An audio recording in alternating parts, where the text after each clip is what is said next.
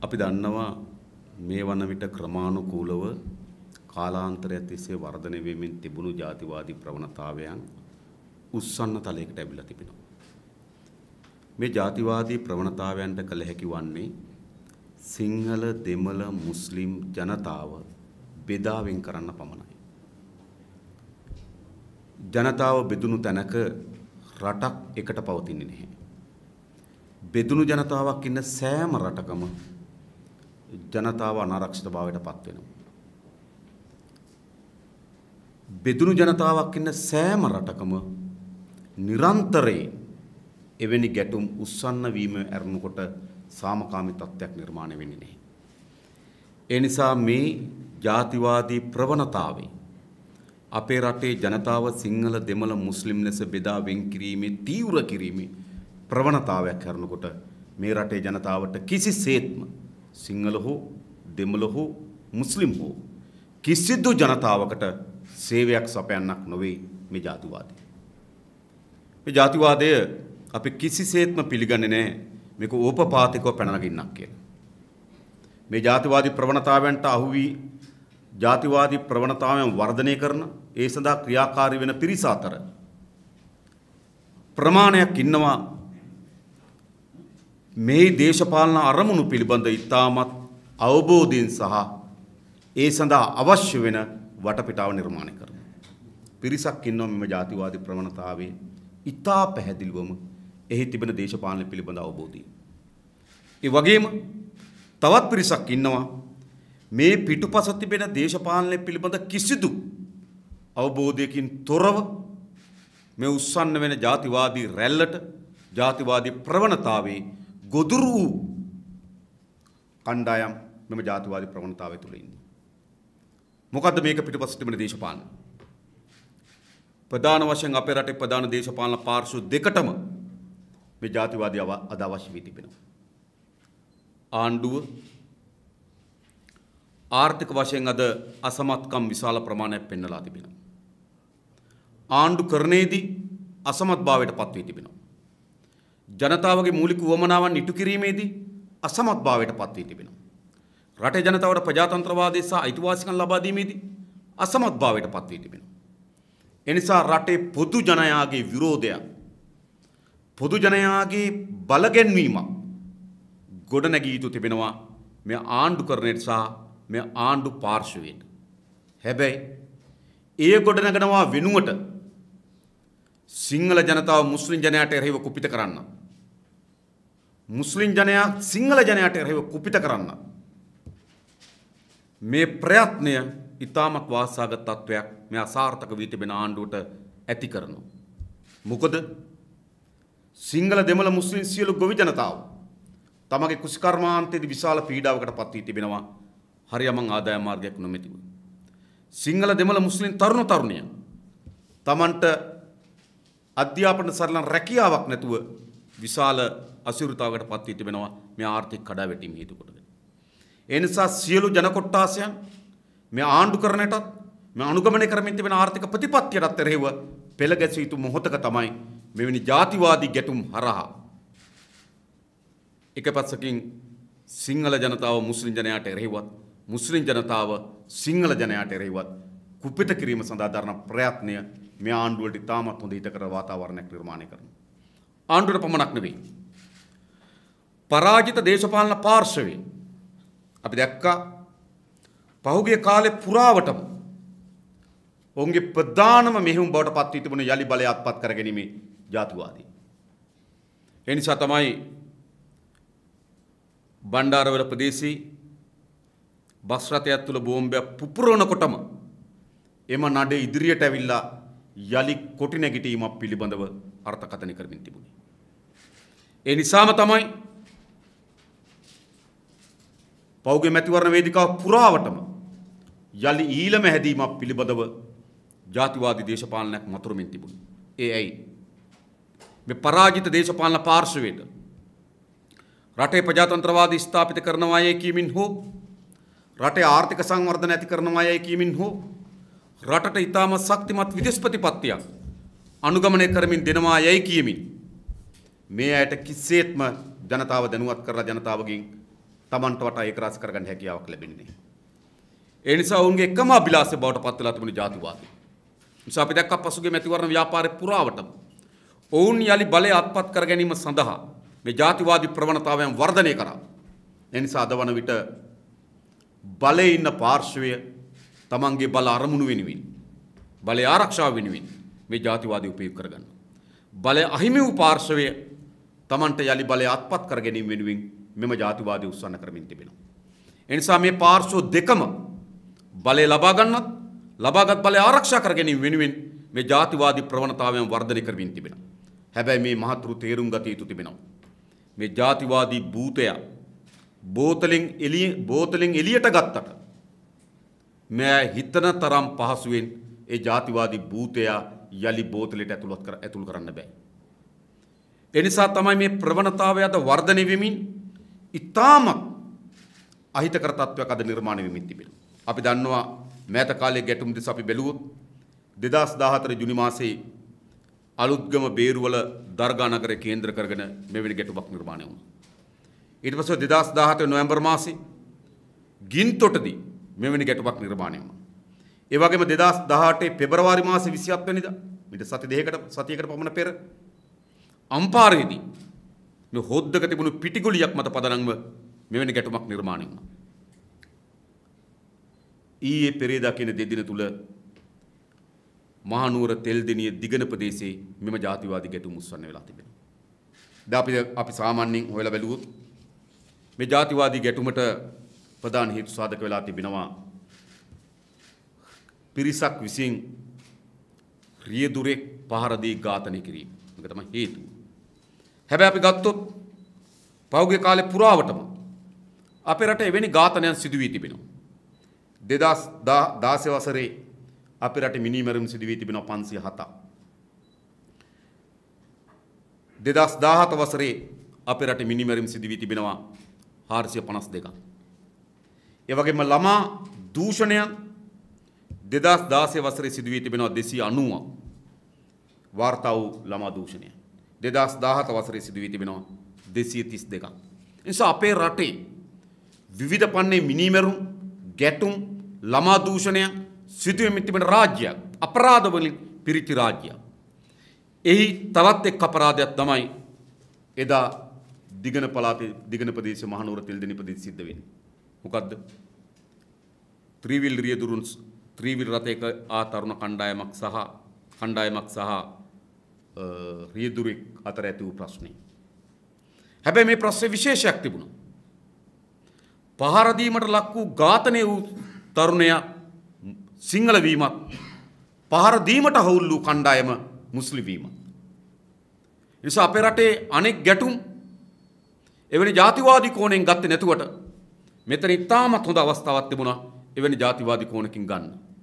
අම්පාරේදී අපි දැකලා තියෙන ඕන තරම් අපේ රටේ හෝටල් වල විවිධ වර්ගයේ අපද්‍රව්‍ය හොදි වලින් හම්බෙන එක. හැබැයි මුස්ලිම් කඩේකදී පිටිගුලියක් හම්බෙනකොට ඒක ජාතිවාදී ගැටුමක් බවට පත් වෙනවා. අපේ රටේ විවිධ ගැටුම් නිර්මාණය වෙනවා. හැබැයි මේ ගැටුම් අතර මුස්ලිම් සහ සිංහල අය අතර ගැටුමක් බවට පත් වුනහම ඒ ජාතිවාදී ගැටුමක් බවට පරිවර්තනය වෙනවා. ඒ නිසා මෙම සිදුවීම කිසිසේත්ම අපි අනුමත කළ යුතු සිදුවීමක් නෙවෙයි. රීදුරන් අතර ඇතිවෙන ගැටුමක් එම රියදුරා එම රියදුරාට විශාල ලෙස පහර දී මරණය සඳහා තුවාල කිරීම මෙරට ජනතාව ප්‍රතික්ෂේප කළ යුතු තිබෙනවා. ඒ නිසා එම අයට අපේ රටේ නීති හමුවේ තිබෙන සියලුම ක්‍රියාමාර්ග හරහා දඬුවම් ලබා දිය යුතුයි. එය සිංහල තරුණයෙක් වෙත මුස්ලිම් තරුණයන් පහර දීම සඳහා පහර දීමක් නිසාම පමණක් නොවේ. එය පොදු නීතිය. දැන්ට වාර්තා වී තිබෙන තොරතුරු අනුව ඔවුන් අත්අඩංගුවටගෙන රිමාන්ඩ් භාරයට ගත රිමාන්ඩ් රිමාන්ඩ් ගත කර තිබෙනවා බන්දරාගරගත කර තිබෙනවා. එතරින් එහා නීතිය කිසිසේත්ම ඇකිලෙන්න ඉඩ නොදී ඔවුන්ට මෙම ඝාතනයට එරෙහිව නීතිය ක්‍රියාත්මක කළ යුතු තිබෙනවා. හැබැයි ආණ්ඩුව තේරුම් ගත යුතු තිබුණ කුමක්ද? අපේ රටේ ක්‍රමානුකූල යටිතලයේ දියත් වෙමින් තිබෙන මේ ජාතිවාදී මෙම අවස්ථාවකදී උස්සන්න වෙන බව ආණ්ඩුව තේරුම් ගත යුතු තිබෙනවා. හැබැයි ආණ්ඩුවට මොකද්ද තිබෙන්නේ? මේ ප්‍රශ්න නෙවෙයි. අග්‍රාමාත්‍යවරයාට පුටුවේ වාඩි වෙන්න පුළුවන්ද නැද්ද? කියන ප්‍රශ්නයට ඔහු මුහුණ දීලා තිබෙනවා. ජනාධිපතිවරයා තවත් යටි කූට්ටු වැඩක් ක්‍රියාත්මක කරගන්නේ කොහොමද කියලා ඔහු සැලසුම් කරමින් තිබෙනවා. අමාත්‍යවරු තමන්ගේ පුටුව තේද තමන්ගේ පුටුව නැති වෙයිද? තමන්ට ලැබුණු පුටුව ප්‍රමාණවත් ඊට වඩා ලොකු පුටුවක් ගන්න පුළුවන්ද කියලා ගැටුමක තිබෙනවා. එනිසා පාලකයාගේ මූලික පැවැත්ම බවට පත් වී තිබෙන්නේ ඔවුන්ගේ සුඛ විහරණය සහ ඔවුන්ගේ බලය. ඕනෑම ආණ්ඩුවකට මේ මොහොතේ තේරුම් ගත හැකිව තිබුණා මෙවැනි සිදුවීමක් කවරාකාර දිසාවකට පරිවර්තන විය හැකිද කියලා. ඒ තේරුම් ගන්න තරම් මන්ද මානසිකත්වයක් තිබෙනවා යයි කියා අපි පිළිගන්නේ නැහැ මේ ආණ්ඩුවට. හැබැයි ආණ්ඩුව මොකද කරේ? එවැනි තත්වයක් වර්ධනය වෙන එක වැළැක්වීම සඳහා ගත යුතුව තිබුණු සියලු ක්‍රියාමාර්ග අත්තරලා දාලා තිබුණා. විශාල තරුණයන් ප්‍රමාණය තරුණ පිරිසක් මහා දවල් කඩවලට ගිනි තියමින් නිවාසවලට ගිනි තියමින් මහා විනාශයක් කරමින් යනකොට ඒ පාලනය කරගන්න බැරි ආණ්ඩුවක් කුමටද? ආණ්ඩුව සමත් වෙලා නැත්තම් මේ රටේ සෑම පුරවැසියාගේ ආරක්ෂාව තහවුරු කරගන්න. ඒ ආණ්ඩුවක් තව දුරටත් මේ රටේ ජනතාව තමන්ගේ බදු මුදල් හරහා නඩත්තු කළ යුතුයි. ආණ්ඩුව බැඳී තිබෙනවා. අපේ රටේ සෑම පුරවැසියාගේම ආරක්ෂාව සෑම පුරවැසියාගේම යහපත් දිවි පැවැත්ම ආරක්ෂා කිරීමේ මූලික වගකීම මේ පාලකයාට තිබෙනවා. හැබැයි මේ පාලකයා එය මුළුමනින්ම අත්හැරලා තිබෙනවා. ඇයි? Taman විසින් සැලසුම් නොකලත් මේ දියත් වී තිබෙන ක්‍රියාමාර්ගය Tamanට අනියමින් ඊටමත් වාසගත තත්ත්වයක් නිර්මාණය වෙන එක. ඒ නිසා අද අද අපේ රටේ සාකච්ඡා වෙන්න ඕන ප්‍රශ්න විශාල ප්‍රමාණයක් යට ගිහිල්ලා දිගන තෙල් දෙනිය ප්‍රවෘත්තිවල මාධ්‍යවල ජනතාවගේ ප්‍රධාන සාකච්ඡාවට බඳුන් වී තිබෙනවා. ඒ බඳුන් කර ගැනීම ආණ්ඩුව උවමනාව. ඒ නිසා තමයි ආණ්ඩුව නිසි පරිදි පූර්ව ලෙස මොකද රජයක් සතු අපරාධ පරීක්ෂණ දෙපාර්තමේන්තුවක් තිබෙනවා. රජයක් සපිත රාජ්‍ය බුද්ධ්‍යංශයක් තිබෙනවා. ඒ සඳහා විශාල පුහුණුව ලත් නිලධාරීන් තොගයක් ආරක්ෂා කරනවා. මාසික දීමනා දෙමින් ඔත්තුකරුවන් විශාල ප්‍රමාණයක් නඩත්තු කරනවා.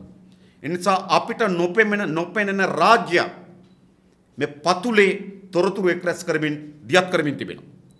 ඒක දේශපාලන පක්ෂයක් නෙවෙයි, සිවිල් පුරවැසියක් නෙවෙයි, ආණ්ඩුවක්.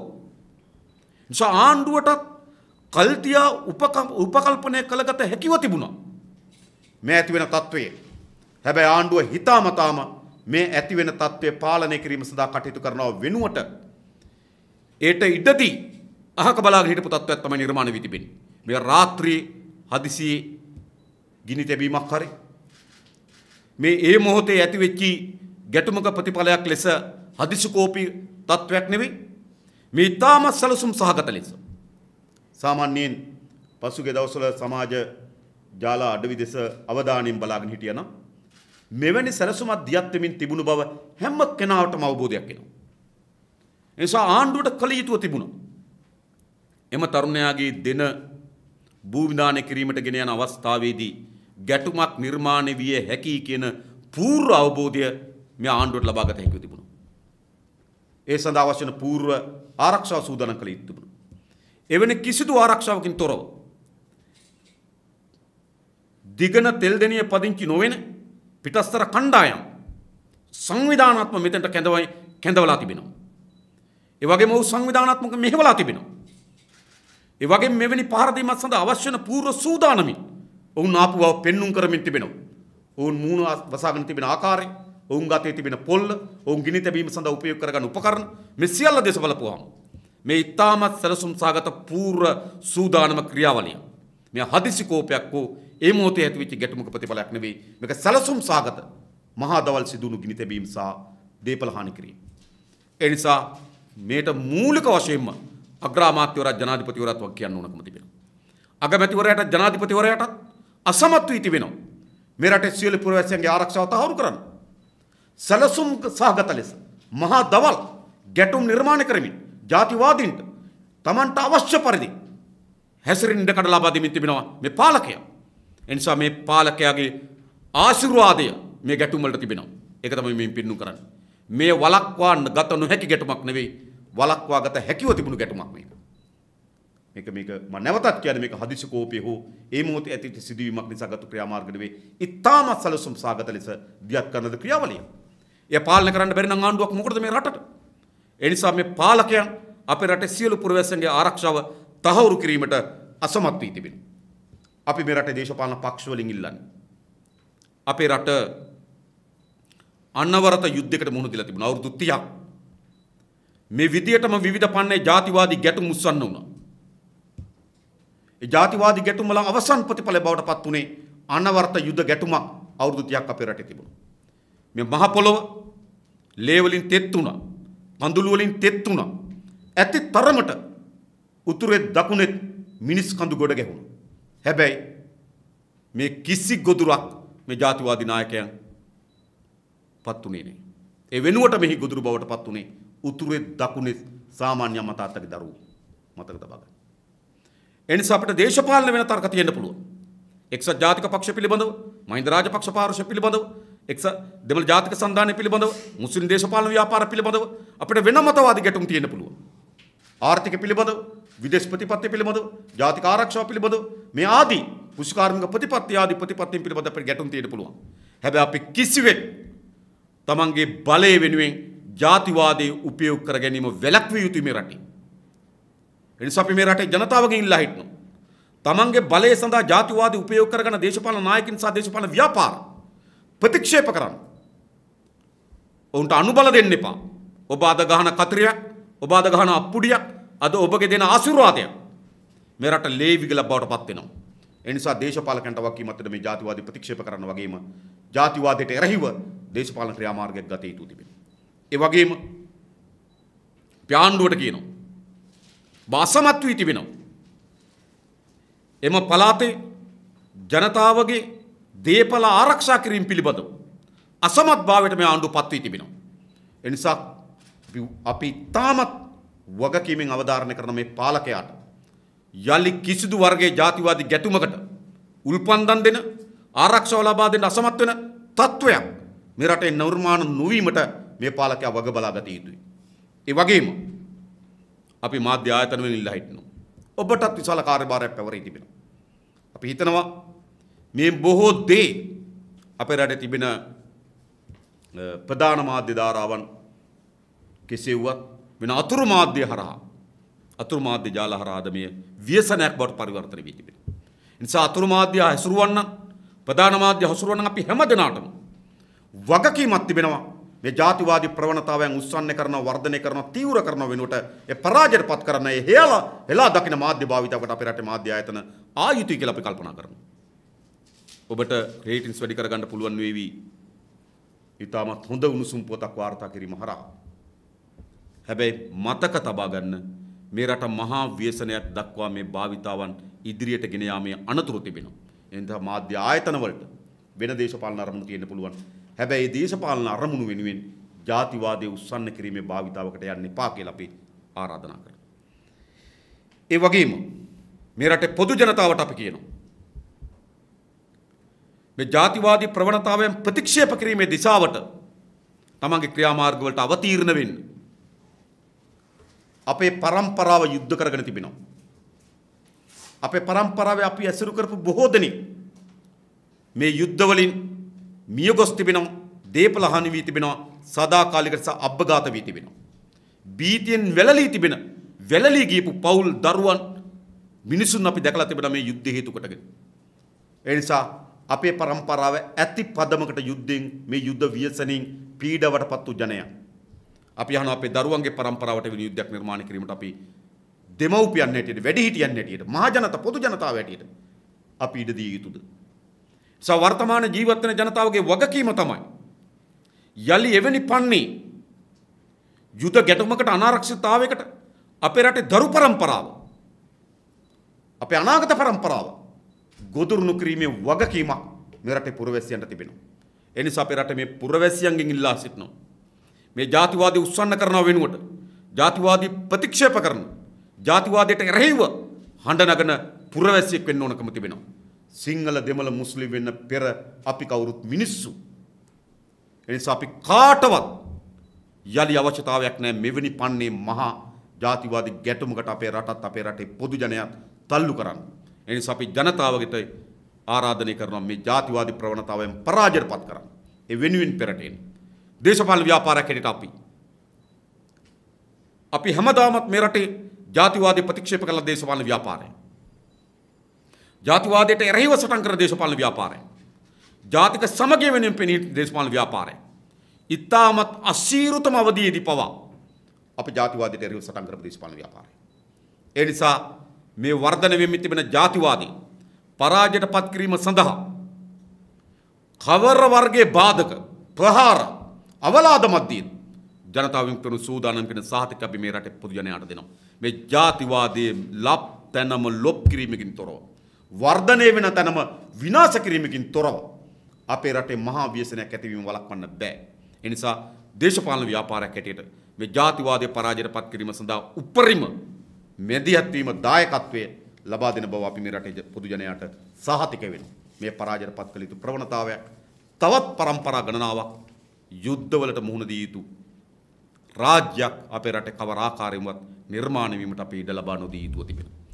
ඒ සඳහා මේ රටේ සියලු පුරවැසියන්ට ආයාචනය කරනවා ආරාධනා කරනවා ජාතිවාදයට එරෙහිව ඔබේ හඬ අවදි කරන්න ජාතිවාදයට එරෙහිව ඔබගේ ක්‍රියාමාර්ග පෙරට ගන්න කියන ආරාධනය අපි අපේ රටේ පොදු ජනතාවෙන් ඉල්ලා සිටින කැමැතියි.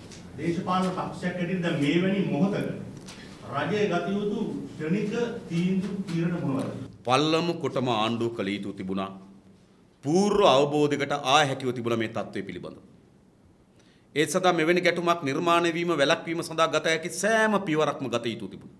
නමුත් ආණ්ඩුව මේ මොහොත වෙනකොට ඒ කියන්නේ මේ සිදුවීම සිදුවෙන තෙක් පූර්ව ලෙස මේ වළක්වා ගැනීම සඳහා ගත යුතු කිසිදු ක්‍රියාමාර්ගයක් ගැනීමට අසමත් වී තිබෙනවා. දැන් ගත යුතු තේ කුමක්ද?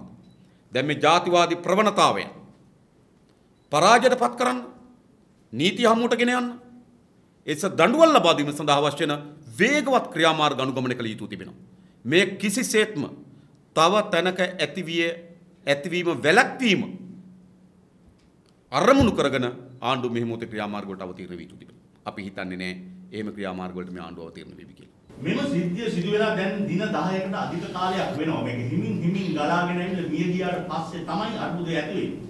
නීතිය හා සාමය තිබෙන්නේ අගමැතිවරයාගේ අතේ.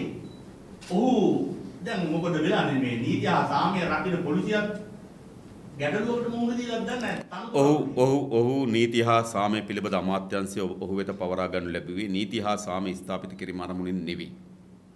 ඔහු නීති හා සාමය පිළිබඳ අමාත්‍යංශය තමන් වෙත පවරා ගන්නු ලැබුවේ ආණ්ඩුවේ ඇති වී තිබෙන අභ්‍යන්තර අර්බුද සමනය කර ගැනීමේ අරමුණ.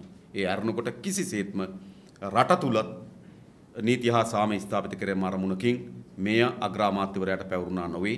එනිසා මෙවැනි සිදුවීම් පාලනය කර ගැනීමට ඔහුගේ අසමත් වීමෙන් පෙන්වු කරන්නේ ඔහුට පැවරී තිබෙන නීති හා සාමය පිළිබඳ අමාත්‍යංශය ඔහු උපයෝග කරගන්නේ රටේ නීති හා සාමය ස්ථාපිත කරන්න නෙවෙයි තමන්ගේ ආණ්ඩුව තුළ අර්බුදයන් සමනය කර ගැනීම සඳහා පමණයි. එහෙමනම් එක්කයි කුඩාද විශ්වාස භංගයක් යෝජනාවක් කතානායකවරයා වෙත ඉදිරිපත් කරන සූදානම් අග්‍රාමාත්‍යවරයා පිළිබඳව ඔහුගේ වගකීම් මුළුමනින්ම වත්තරලා තිබෙන්නේ. ඔහු වංචා දූෂණ වලට එරෙහිව බලයටපත් වූ අග්‍රාමාත්‍යවරයෙක් ඔහු වංචා දූෂණ වේ යෙදුණා. ඔහු වංචනිකයන් දඬුවම් ලබා දෙන්න බලයටපත් වූ අග්‍රාමාත්‍යවරයෙක් ඔහු වංචනිකයන් ආරක්ෂා කරා. ඒ වගේම ඔහු වංචනිකයන් තමන්ගේ ආණ්ඩුව හවුල්කරුවන් කර ගැනීමට එරෙහිව ජනවරමක් ගත්තු කෙනෙක්. ඔහු වංචනිකයන් ආරක්ෂා කිරීම සඳහා තමන්ගේ ආණ්ඩුවේ පාර්ශවකරුවන් බවට පත් කොටගෙන තිබෙනවා. ඒ නිසා අග්‍රාමාත්‍යවරයා මුළුමනින්ම තමන්ගේ වගකීම අත්හැරලා තිබෙනවා. ඒ නිසා අග්‍රාමාත්‍යවරයාගේ විශ්වාසභංගේ යෝජනාවේ තිබෙන අඩංගු සහ මේ දේශපාලන අරමුණු පිළිබඳ සැලකිල්ලක් කොට ජනතා විමුක්ති පෙරමුණ විශ්වාසභංගේ පිළිබඳ තීරණ ගැනීමට නියමිතයි.